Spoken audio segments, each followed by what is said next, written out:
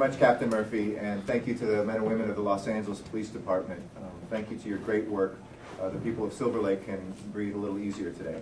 Um, they can have a little uh, reassurance that justice has been served and the bad guys are in jail um, and the community is a little safer due to the great work of this department. We have a very simple message for those who continue to commit crimes in our community, that you will get caught and you will go to jail.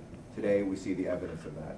These are some of the weapons and um, some of the paraphernalia that was uh, seized by our uh, good police officers. You see the connection between drugs and guns. You see the connection between property crimes and fueling both of that. Um, and obviously that is something which we comprehensively each want to do in a strategic way, whether it's in um, crews or whether it's uh, crews that are affiliated with gangs.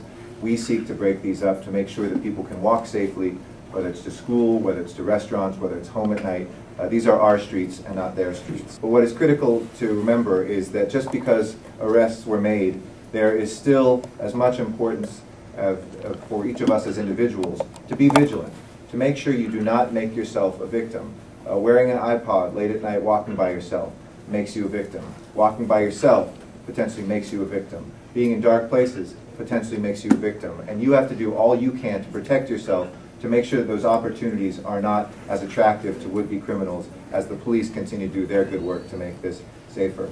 Well, um, and I want to thank the members of the community, many of you who called us, people who gave tips, um, information. That is really what makes us safe in the long term, uh, to be able to have that cooperation and coordination. But it's true, sometimes there's bad people out there. And we want to prevent you from experiencing bad people. And simple tips, you know, and we think about, I see it all the time in LA, people talking on their phones as they're walking down the street. And all of a sudden someone comes up behind you and you're a victim. Uh, some of these people were victims because they were on their phones instead of having uh, the awareness of where they are. We are going to ask our Public Works Department, Bureau of Street Lighting, look at lighting some of these streets a little better.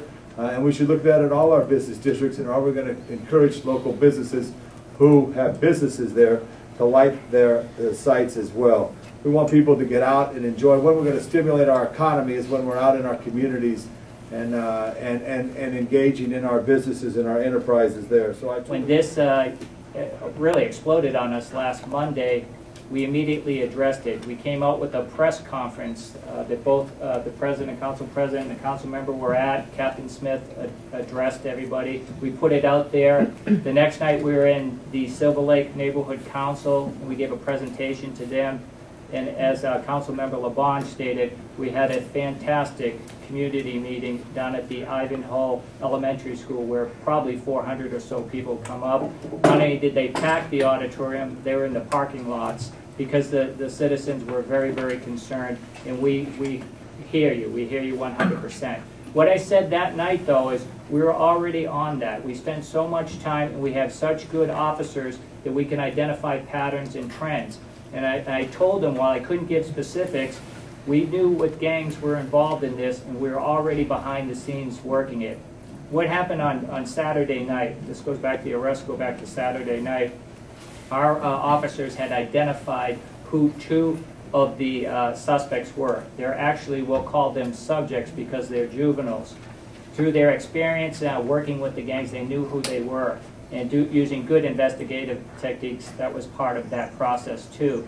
We went ahead and we put undercover officers in locations where we would believe, based on our experience, that they would go. We ended up detaining six uh, individuals. Uh, two of them uh, we ended up arresting for robbery out of that. Two others we arrested for other crimes, and two at that time we released. We obtained a search warrant on the homes of the, the subjects that we arrested. Based on that search warrant and the subsequent investigation, we recovered these two guns as well as a lot of uh, cell phones that are up here and iPods. Uh, from that moment, we begin backtracking. What occurs is victims, when they have cell phones taken, iPods taken, that goes into the crime investigation, it goes down into reports. Our detectives have been working feverishly to tie these uh, items, which we believe many of them to be stolen, taken in robberies, back to victims. To date, we have been able to tie these uh, subjects to three robberies. Two are involved in the Silver Lake, which is the northern cluster that we were talking about. There's two clusters, one really in Echo Park of six uh, robberies, and one in Silver Lake of four. We've been able to tie two of the Silver Lake to these subjects.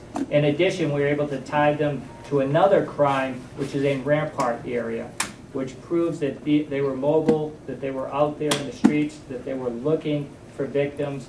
Uh, We already talked about how to prevent yourself from being a a robbery suspect or any crime, uh, any victim of a crime. In the middle of the night, you know, please, it's a good idea to walk in groups.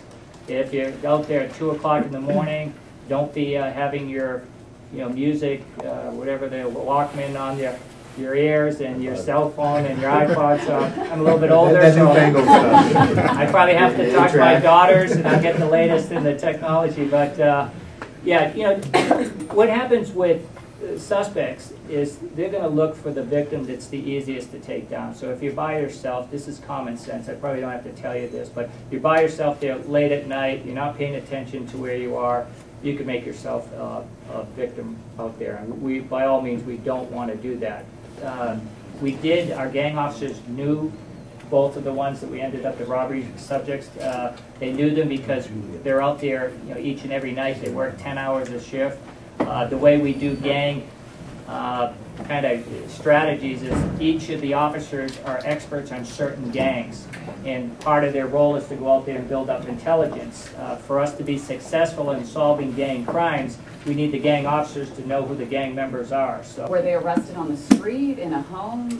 Uh, eh, I don't think that that would matter, right? Uh, we, eh, they were in the street, we took them down in the street. Where, where, in Silver Lake, Echo Park? Well, In the vicinity of of where they live. And because they're subjects, we, we can't release, unfortunately, the, their pictures and other stuff. They, when they're juveniles or subjects, that we call, there are certain uh, criteria we have to keep confidential, honestly. But were, were they actually involved in some sort of? No, no, no, we, we were, we were simply looking Looking to for them, appre- okay. apprehend them, so when we found them, we took them into custody. We would have took them into custody anywhere, obviously in their house, that requires a warrant, but, uh, that's, so we got them on the street. And then did a search warrant back into their home. Where exactly Makes do they sense. live? Silver Lake, Oak Park? Yeah, that was, uh, was that in the Silver Lake technically? East or- Hollywood. Oh, East Hollywood, okay.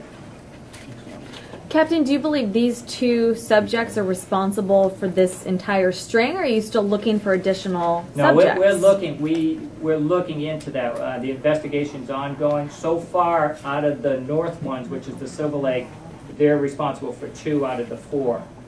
Uh, but that's an ongoing investigation. Uh, again, we, it's possible that they're involved in others. We can't say that now. And, uh, they definitely did do other robberies in other parts of the city. Rampart's a different police, uh, area, and they did robberies down there, so they're probably mobile. But Council, Mr. Garcetti or uh, Captain Murphy, I don't know which of you can answer this, but there was a lot of concern brought up too at that meeting that some of the victims were targeted because they were perhaps homosexual. Can you address that, please? Yeah, well, no, we have no uh, evidence at all that that was the case. Uh, We believe that they were just targeted because they were the, the best uh, robbery victims that, that they could find. Some of these, the range of the, the actual victims ranges from, you know, juveniles to adults. There are different uh, races involved. Uh, The commonality is single males, is, is that, and Okay, and the two um, juvenile boys, can you tell us the ages? yes, uh, 15 and 16 years old. Suspected gang members. Yes. Well, they, they may be, uh, I think they They're in the confirmed, not- database. yeah, they're in our database, so.